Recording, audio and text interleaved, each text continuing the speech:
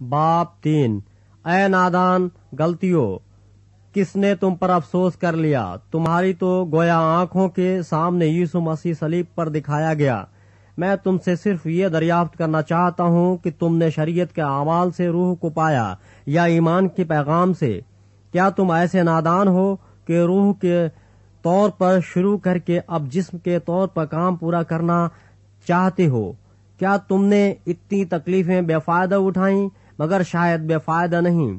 پس جو تمہیں روح بخشتا اور تم میں موز ظاہر کرتا ہے، کیا وہ شریعت کے اعمال سے ایسا کرتا ہے یا ایمان کے پیغام سے؟ چنانچہ ابراہم خدا پر ایمان لایا اور یہ اس کے لیے راست بازی گنا گیا۔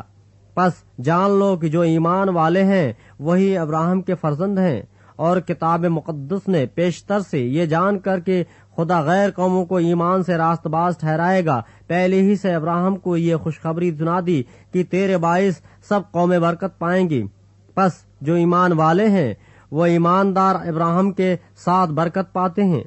کیونکہ جتنے شریعت کے اعمال پر تکیہ کرتے ہیں، وہ سب لانت کے ماتحت ہیں۔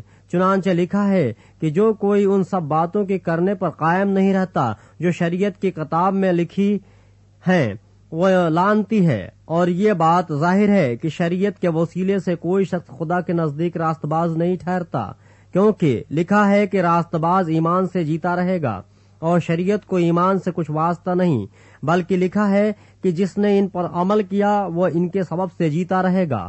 مسیح جو ہمارے لیے لانتی بنا، اس نے ہمیں مول لے کر شریعت کی لانت سے چھڑایا، کیونکہ لکھا ہے کہ جو کوئی لکڑی پر لٹکایا گیا، وہ لانتی ہے۔ تاکہ مسیح عیسو میں ابراہم کی برکت غیر قوموں تک بھی پہنچے اور ہم ایمان کے وسیلے سے اس روح کو حاصل کریں جس کا وعدہ ہوا ہے۔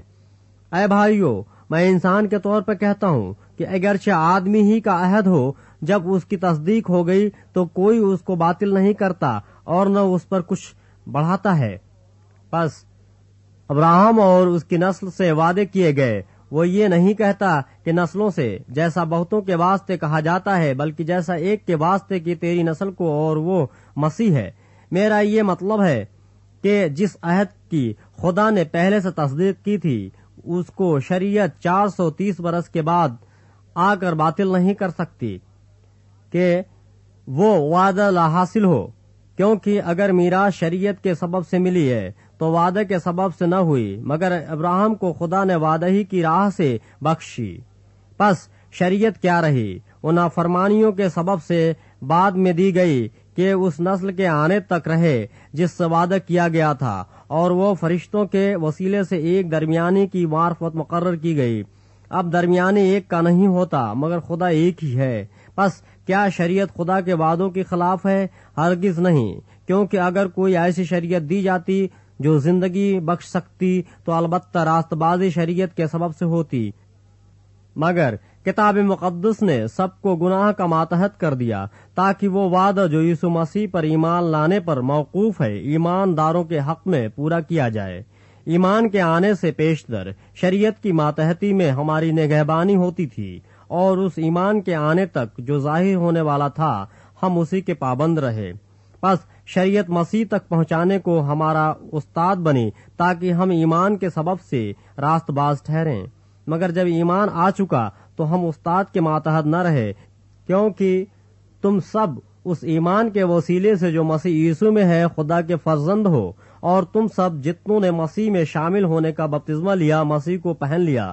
نہ کوئی یہودی رہا، نہ یونانی، نہ کوئی غلام، نہ آزاد، نہ کوئی مرد، نہ عورت۔ کیونکہ تم سب مسیح یسو میں ایک ہو، اور اگر تم مسیح کے ہو تو ابراہم کی نسل اور وعدے کے مطابق وارث ہو۔